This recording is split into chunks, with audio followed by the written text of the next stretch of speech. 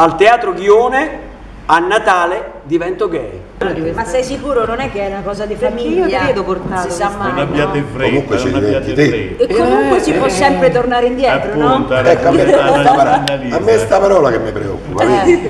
In realtà è una commedia molto divertente, un po' il vizietto al contrario. Io sono un professore di filosofia un po' sfigatello, eh, certo che non naviga nell'oro, ha una vecchia casa di famiglia ma è l'unico bene che possiede e aspetta però i soldi dello zio americano che ha fatto veramente tantissimo denaro con le pizzerie. Però lo zio è gay e detesta le donne e lui gli ha lasciato sempre credere che la pensa come lui, che lui proprio le donne non le può sopportare, che ha un compagno da tantissimi anni. E lo zio adesso però vuole ritirarsi dagli affari e gli vuole donare tutte le sue pizzerie a patto che sposi questo compagno e viene a Roma per conoscerlo.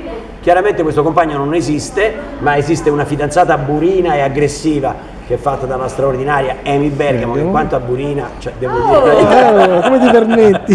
raggiunge dei livelli straordinari. Tutta invidia. Eh, Sì, infatti. e quindi convince il suo amico del cuore, eh, Massimo Corvo, una voce eh, assolutamente... Un eh, altro burino. No, però diciamo, no, no? diciamo Vabbè, a me Burino, lui no, no. sì, anche lui, anche lui è molto burino, è molto grossier. No, dicevo, è, è la voce storica, insomma, di grandissimi personaggi che- del cinema che voi tutti conoscete e, e mette a servizio questo vocione per eh, fingere di essere il mio compagno. Chiaramente ha delle grandi difficoltà, recalcitra in maniera assoluta e soprattutto crea delle situazioni molto complicate con la sua fidanzata che è la castissima e serissima Annalisa Favetti, non nella vita, no? dico sulla scena. Solo in teatro. sulla scena è questa Margherita che è la segretaria della scuola, che però avrà una trasformazione mirabolante quando pensa di, di poter salvare la sua relazione eh, con, ehm, eh, con il fidanzato Ercole.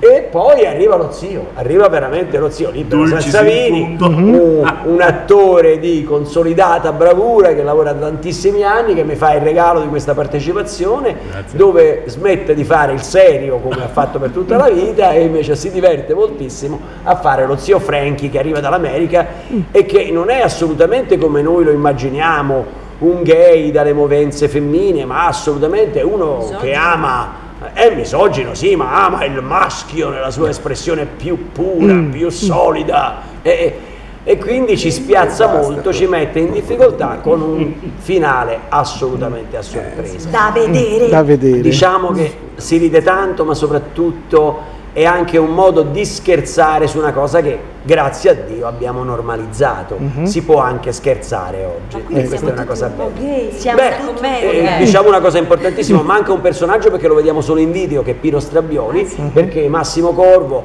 il personaggio di Massimo Ercole, dice no ma io, come dice lui, E cose devo imparare pure col corpo. no no ma io non so fingere, com'è la cosa? Ah sì, perché se non ho la motivazione interna non so fingere. E quindi cerca un tutorial su internet che gli insegni come essere gay, Un tutorial. un tutorial. Ma l'hanno presa seria questa Eh, E, e alla fine trova questo, eh, questo tutorial fatto dal professor Out, che è interpretato da Pino Strabbioni, che spiega le leggi della gaiotica e spiega soprattutto la prima legge della gaiotica, che vi coinvolge anche a voi.